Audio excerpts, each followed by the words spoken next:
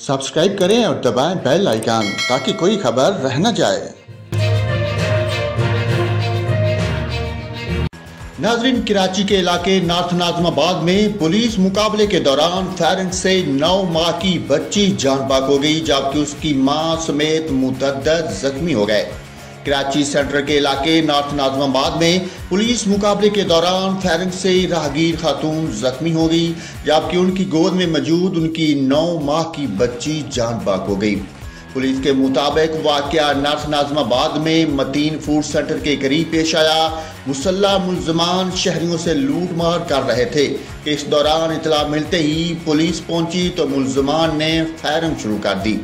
Police के मुताबिक इस दौरान जवाबी फायरिंग भी की गई तहम मुलजमान की फायरिंग से राहगीर चौबीस साल खातून हिना राशिद शदीद जख्मी हुई, जबकि उनकी गोद में मौजूद उनकी नौ माह की बच्ची अनाबिया राशिद जान बाग हो गई।